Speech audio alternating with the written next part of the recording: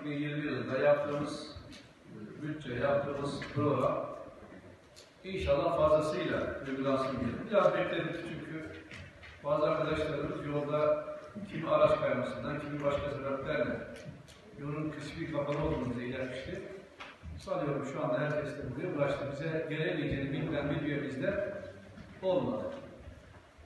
Ee, sistem çalışıyor mu Yavuz? Yok proje çalışıyor. O yüzden isim mi okuyacağız?